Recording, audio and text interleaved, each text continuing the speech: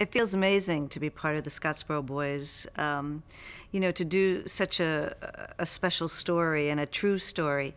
A lot of times, uh, when you work in the musical theater, you live in a more fantastical world. And so to do a story that is true and something that really happened.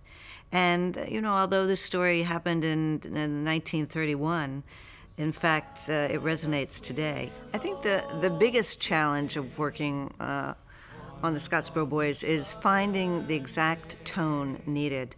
Because what's interesting uh, about Kander and Ebb's music, it's very entertaining. And uh, as John Kander and Fred Ebb said, if we don't make it entertaining, they won't listen.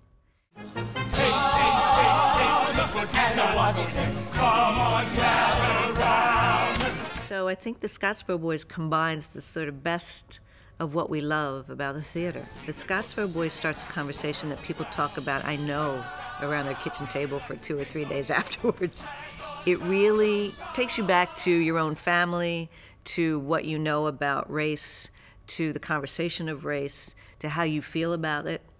Um, so I know that when the people leave that theater, they go out and they talk about it, and they talk about it a lot. The Scottsboro Boys was such a hit at the Young Vic. It made me so happy, and it looked so beautiful in that theater. I loved that the audience embraced it so. So now to have the opportunity of the Scottsboro Boys going to the West End is, is thrilling.